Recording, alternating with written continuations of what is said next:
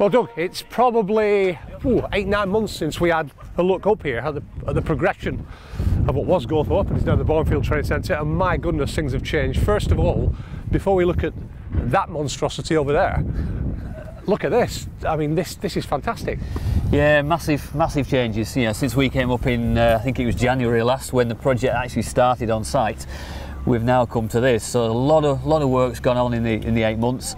As you can see in front of us now, what was just open farmland, now we've got these two magnificent full-size Desso pitches uh, in front of us. So these are part plastic as well?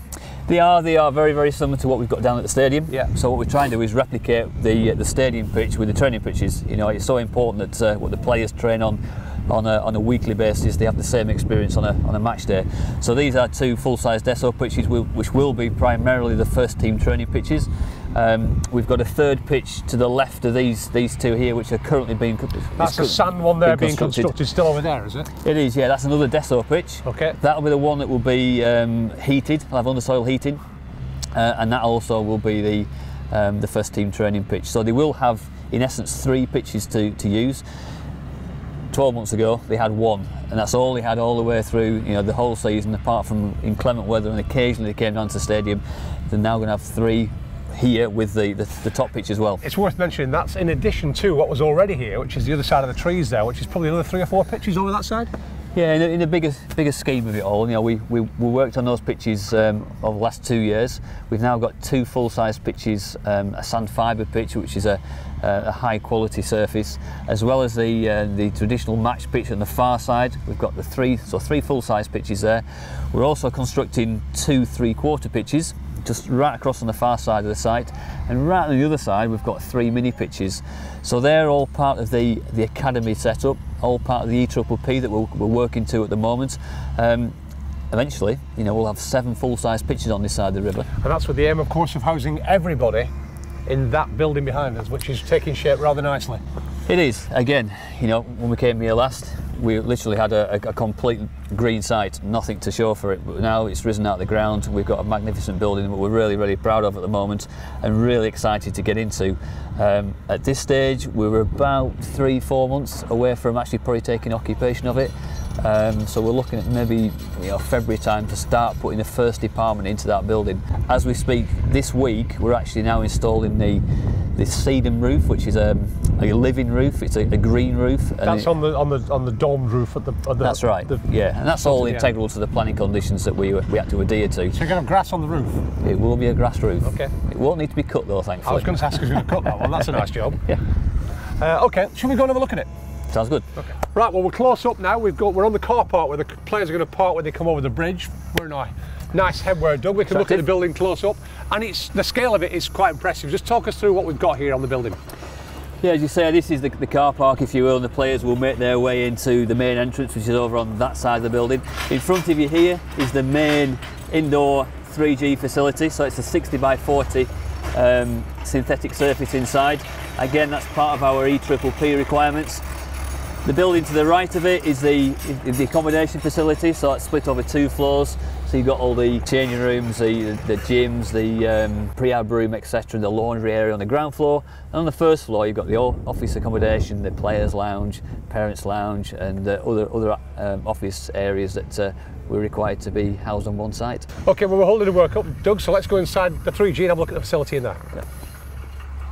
Well, it's a little bit dark in here, Doug, but you, you, get a feel inside for the scale of this place. Just put this into context compared to the elite training centre we have at the turf and how much bigger this is.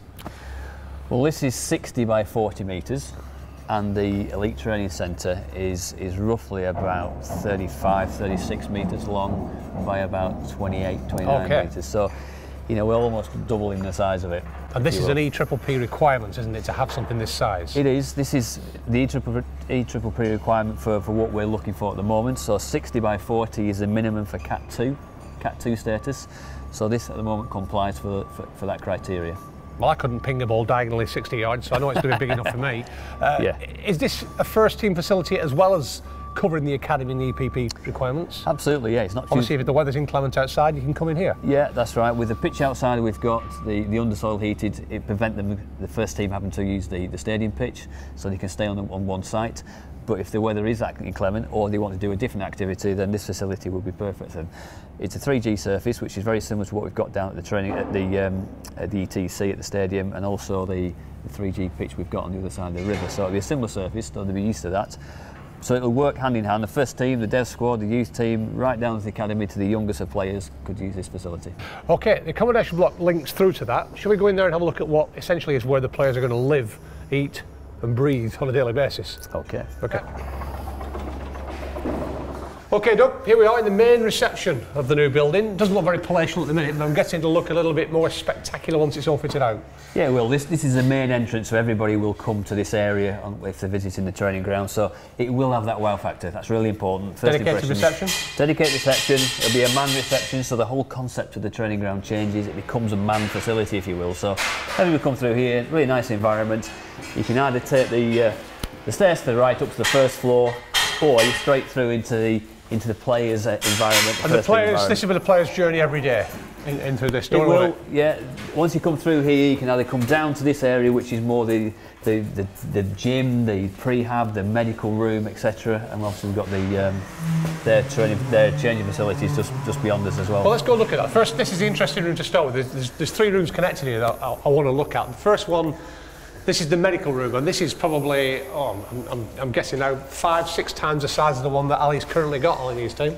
Yeah, it is much bigger, but obviously the squad's bigger. We need to make sure we future-proof the building as well. But it's we have a real opportunity. Of, we start from a clean sheet of paper, actually to plan the environment in, a, in the precise way that we actually need it to work. Whereas previously we've almost inherited buildings. Now, the next room I'm really excited about, and that's this way, Doug, because this connects the, the, the physio's room to the dressing room, and that is a swimming pool. It's a swimming pool with a little bit of a difference. It's a bit of a high-tech swimming pool, shall we Yeah, say? I, I, I'm being light-hearted there, but this is an important new facility. It is, club, yeah. it? Tell us about this. this. This is the. It's going to be the hydrotherapy pool. So it's another form of, um, of, of rehabilitation, I guess. So in here there'll be a treadmill within the pool, and also two plunge pools. So we'll have a hot hot pool and, and a cold pool. Okay. It'll, it'll end up being a bit of a spa environment. So it wants to be a really nice environment, still And a warm. working environment, Nice and warm. and warm. Yeah, but it's a good feel when you walk into it. Okay, which leads us on to a very exciting room. This is the first team training facility, and it's Cavernous. first impressions. Yeah, yeah, cavernous is a good word for it, Doug. I mean, it is probably. I'm going to go twice the size of the one that they currently have, and probably three times Yeah, the size three, of the dressing room. Three times the size. Again, as we said before, it's about future proofing, but getting, getting the environment right. This is the, the lad space, this is the player space. It's their own personal space. Kind of a five-a-side game in here. we could mark it out, couldn't we? Yeah. But this will look the part. I'm guessing everyone will have their own cubicles. It'll be be nicely laid out and decored, and there'll be Yeah. motivational signs. All the things you'd expect from a modern dressing room. Yeah, I know we're moving out of a very old building to a new one, but the, the principle of the old building works. They've got their own little area, their own personal space, so we'll, we'll, bring that across, that idea across into here, but on a much, much bigger scale. And yeah, it will be. It'll fit it out very, very nicely. It'll, it'll feel like a, an area that you want to come into. It's their place of work, hmm. and we've got to make sure that you know they, they feel comfortable in that. We'll go for a final walk down this corridor. You can just talk us through the rest of this corridor before we then move up into the first level, if that's all right, Doug. Yep, absolutely. So down here towards the back end, and of course, remember, guys, this is still a work in progress, so it is a little bit chaotic in here. We've got kit room. Kit room, yeah, that's right. So this will be the, the main club kit room, if you will. So it's not just for first team; it will be development squad and, and youth team. The items we have down at Turf Moor now, which gets transpo- transported on a daily basis to and from Turf Moor to here, will all come in here. People come into the building, they go into the dressing room areas, they get their prehab and all the gym work. They come out, they pick up the, the kit, and then it's down to the boot room and out. Yeah, again, it's really, really important to get the uh, the flow right and the design right. So we spend a long time planning this and making sure we do get it right.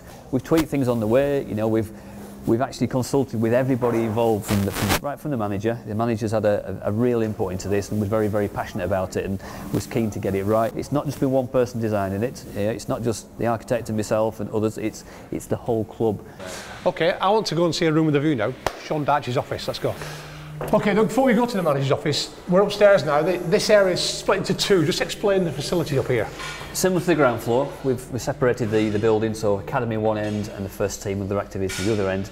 It almost flips this side. So this end of the building is, is the academy operation. So whereas at the moment the academy department are based down at Turf Moor in the ETC, they will come up here fully and be relocated into this area. So um, you've got an open plan office area with various We've offices got a huge it. open plan office there, which will house all, all the staff, the academy, staff. This area is um, a requirement for again the E2P. It's a players, um, a, a parents' lounge, sorry. Um, so this will house all the parents who come on, a, on an evening to the academy activities. Um, nice environment again, sort of small kitchen area, viewing gallery, uh, and even an outside uh, balcony area that can overlook the uh, the 3G. Right, here we go. This is it. Is where it all happens. The manager's office, Doug, and and his staff, of course, they're going to be best in here. And the first thing to say is they have got a room with a view. What a view that is. Yeah, it's pretty special, isn't it? And again, this this was a really important part of the design that you know we we utilise that view there because I don't think there's many training grounds in uh, in the country that will be able to have that aspect. It's a fantastic view, is that, and for the managers to be able to have a nice light, airy building with, with that kind of view. And his ability to, to have his staff in here as well. I think that's quite important to, to Sean that you know Yeah. he's, he's not a manager in isolation. He, he likes to work with, with his own staff very, very closely. So, nice area. There'll be his, um, his assistant manager in here. I think Billy Billy Mercer will be in here. Um, Tony Loughlin, And of Tony course. Of course, yeah. So, before again. And if I'm the gaffer, similar. by the way, I'm sitting here. I'm sitting here looking right out at those pitches. Yeah. It's impressive, isn't it? It's good, very, very good. So out of Sean's office, we go into what effectively is all his ancillary staff, all housed in one area. Doug, talk us through this area. Yeah, so this, this area is going to be the, the hub of the, the first team, etc., and the dev squad, um, as far as the, as say, the, the support staff, if you will. So in here you've got medical, sports science. All in separate individual yeah, rooms. That's right, Yeah. analytical, um, recruitment. Then a, a, an open plan, a small open plan middle section, hot desking, etc. in here. So people like Ali Beattie, Mark Howard, uh, Adam Fairclough, etc., uh, Martin Hodge will be, will be in this area. As we see from the growing team photo, the staff at the front, it's a, it's a big old operation that now. So It is. they all need these separate facilities. Definitely, yeah. We've, we've, we've factored that into the building itself, so there is a future proof there as well. If we, as and when we do expand and uh, recruit again, there's uh, certainly facilities for them. And they're within touching distance, of course, of, of Sean in his office there. Then we go down this corner then, and, and then we've got what is effectively the piece de resistance of this of the players area, which is the players' lounge, which is a fantastic facility. I mean, this is Yeah. this is Yeah. where they're going to live their lives effectively. You've got a kitchen over there where they're going to be served from, but look at this this fantastic space you've got here, Doug. Similar with downstairs in their dressing room, it's their it's their area, it's their domain, and this is a very important area for them to come in here, have the have the lunch, etc., relax in, in their area that they feel comfortable with, and I think that's very very important. So this will have a completely different feel to the rest of the building.